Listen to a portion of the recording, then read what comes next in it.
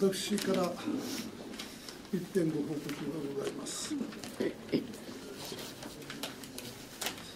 あの先週29日の会見で検討中であると申し上げまし申し上げておりましたが、本日17時30分より復興大臣、農林水産大臣、環境大臣等が出席をいたします。福島の森林林業の再生のための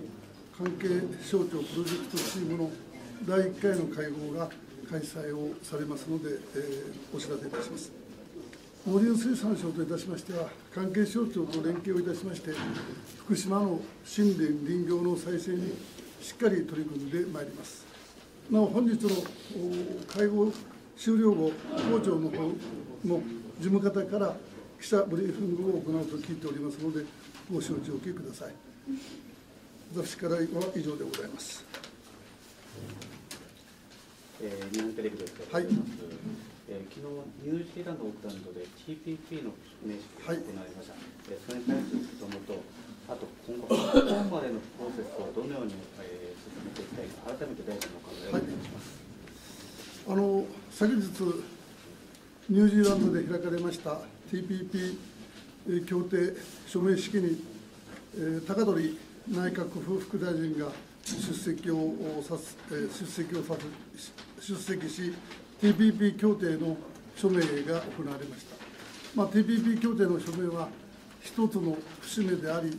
歓迎をしたいと考えております。まあ、署名、えー後に出されました TPP 閣僚声明では、協定の発効に向けて、各国がそれぞれの国内手続きを進めていくことが確認をされましたし、同様の確認は、昨年の11月、首脳声明でもなされているところであります。各国がそれぞれの国内手続きを進めていくことが確認をされたと思います。我が国としても引き続き関係者の方々に合意内容等を丁寧に説明をし、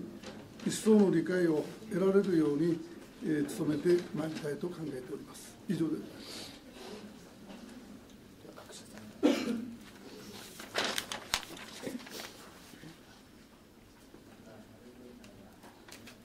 何かございませんか。すみません、あの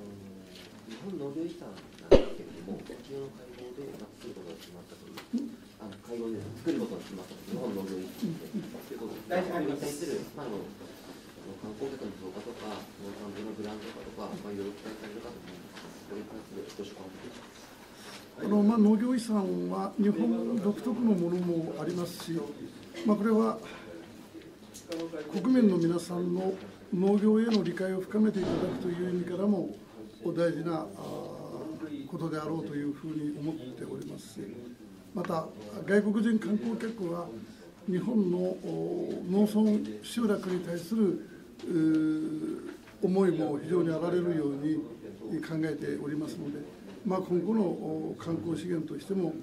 大事なことではないかなというふうに思っておりますので、農水省としてもできるだけ、えー協力をしていくということは、あ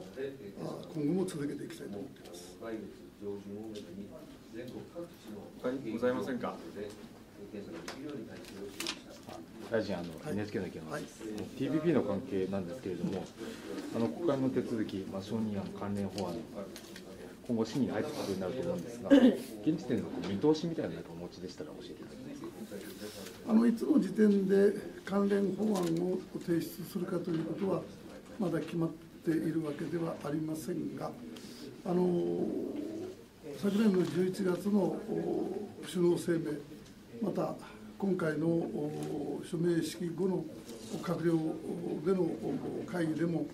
それぞれの国が手続きを進めるということが確認をされておりますので、できるだけ急いでその手続きを進めるということが大事なことだと思いますし、まあ、先ほども申し上げましたけれども、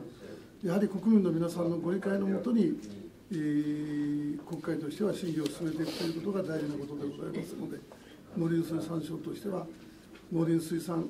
物関係についての説明を丁寧に今後も続けていきたいというふうに思っております。あの去年ですね、大筋合意以来、あのまあ、国民、農家への説明というのが、あの長く行われてきていると思うんですけれども、あの昨日時点でもですね、やはりこう農家の不安というのは、まだ残っているように、あの取材の中では感じているんですが、そのあたり、現時点でです、ね、理解の進捗というのはどう受け止めていらっしゃいますか？あの一部農家に不安があることは私も承知をしておりますが、まあ、説明を始めましてから政策大綱の内容それに基づきます補正予算そして今後の考え方等を丁寧に説明をしておりますのでだんだんだんだんご理解はいただけつつあるのではないかというふうに思っております、まあ、この努力を真摯に続けるということが大事なことだろうと思いますが まずは丁寧な説明を続けさせていただくということだと思います。